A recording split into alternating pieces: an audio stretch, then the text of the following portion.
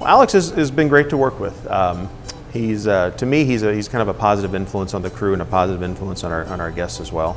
Um, uh, he does everything correctly. Alex is just a great young man and he has a lot of potential.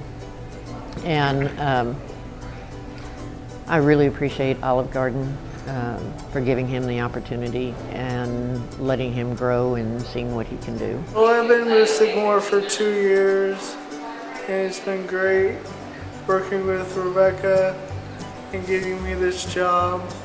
I wanted a job so bad because I just want to get out of the house and learn what everyone else does. You know, Alex, he hit the ground running with, he had a sense that, you know, he, he knew what he wanted to do, I think. And, and we knew what we wanted to accomplish with him, but it, it was a struggle. He started out um, rolling silverware. And what he's doing now is he's still rolling silverware for a couple hours in the morning and then he goes to the front and he's a host. And he picked up their computer system just lickety split. I mean, he's very bright.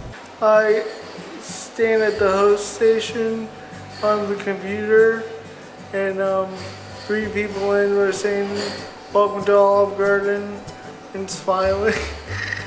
Well, I think the guests, you know, it's, it's, it's always the customer service industry when you see someone smiling when they greet you and enjoying what they do, that's a positive for the guest. That, lets, that kind of puts the guest at ease. And I think when they see Alex smiling up front and communicating with them, that just puts them more at ease. I just want to be like a normal person and my legs won't stop me from being working. Thank you for the job and it's an honor to work here because everyone's so nice and and it's a great place to come and eat.